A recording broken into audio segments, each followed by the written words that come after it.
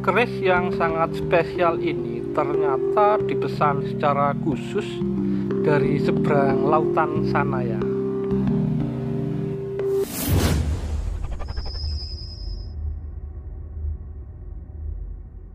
Rahayu, Rahayu. Nah ini ketemu lagi dengan saya ya Teddy Wahyono. Kebetulan ini saya di tempat Empu Haryo. Ada Mas Yosa ya. Ini dari luar pulau ini. Dari Lampung Mas ya. Kabupaten Tanggal Muslim. Iya dari Lampung ya. Kebetulan beliau pesan keris dulu sempat pesan keris ke Empu Haryo ya. Nah itu nanti kita coba tanya-tanya sebentar. Jadi kira-kira kenapa pesan keris tersebut dan kira-kira berapa lama dia bikin. Nah ini Mas Yusa Sumbala Mas ya. Betul. Nah mungkin bisa memperkenalkan diri sebentar, sebentar ya. Ini dari mana as, aslinya itu?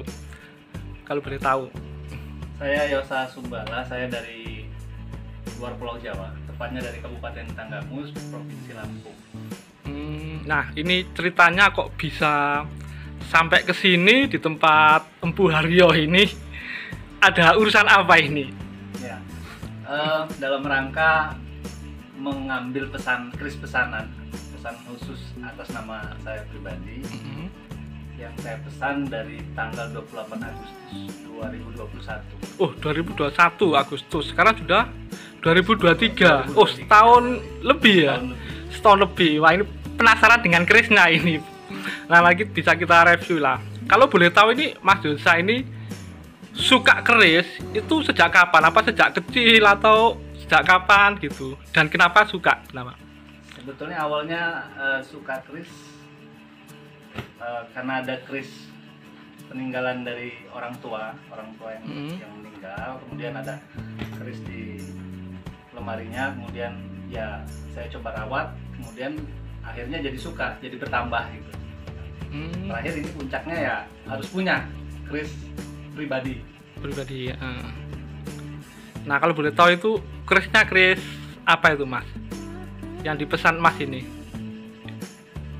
Dapurnya kris Naga Raja 9. Oh Nagaraja Lu 9 Wah kayaknya keren ini Biasanya kalau Nagaraja ada kinatannya Kalau lihat pendoknya kayak gitu Emas-emasnya mungkin ada kinata emas mungkin.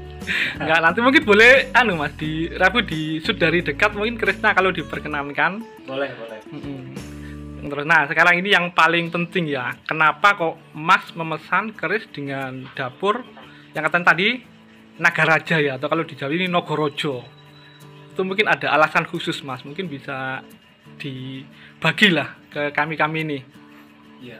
Kalau untuk eh, dapurnya sendiri, dapur naga raja dari simbol naga itu sendiri yang saya juga tahu dari Empu Haryo bahwa naga itu simbol dari kemuliaan.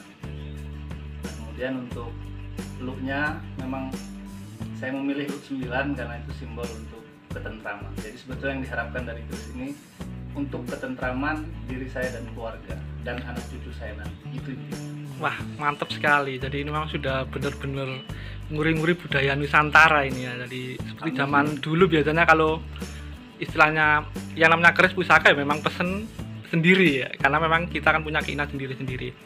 Nah mungkin berikutnya boleh ya tak review dari dekat kerisnya ini mas ya. Oke.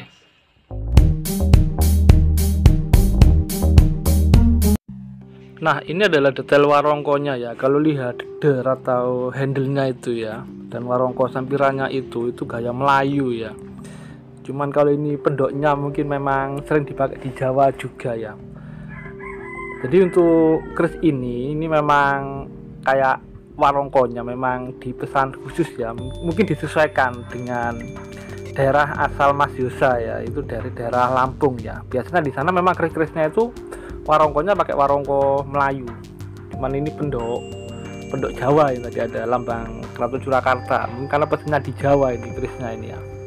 Nah sekarang kita lihat detail kerisnya ya. Nah ini mendak celuknya juga bagus ya jadi kombinasi warna siliase ya warna emas dan perak ada intannya juga. Nah ini kalau kita lihat bagian sor-sorannya ya jadi itu ada ornamen naga ya naga. Dan itu dikinatah emas untuk pamornya sendiri sangat bagus ya itu ya. Belara sineret ya ada yang bilang belara irit kak gitu ya. Dan itu tertata sangat rapi ya itu ya. Jadi memang istilahnya kayak jembret atau apa itu enggak ya. Kalau teman-teman perhatikan garisnya memang sangat bagus ya itu ya. Dan kinatanya memang sampai atas ya. Jadi seluruh badan naga itu dikinata emas. Dan seperti kata Mas Yosa sendiri itu memang beliau pesan Grace Naga Raja Luk 9 ini memang ada tujuan khusus ya. Jadi naga memang secara umum itu simbol kemuliaan ya kemuliaan kewibawaan juga kayak gitu. Yang Luk 9 itu ketentraman atau happiness lah. Kalau teman-teman pernah lihat video saya tentang filosofi lo nah ini adalah detail kepala naganya ya. Jadi giginya pun detail juga ya. Dan sisiknya pun juga terukir sangat bagus ya. Dan pamornya juga tertata sangat rapi. Nah ini secara keseluruhan. Ini memang benar-benar sebuah karya sangat indah ya. Nah mungkin itu saja dari saya. Jadi semoga bermanfaat. Jangan lupa untuk like dan subscribe nya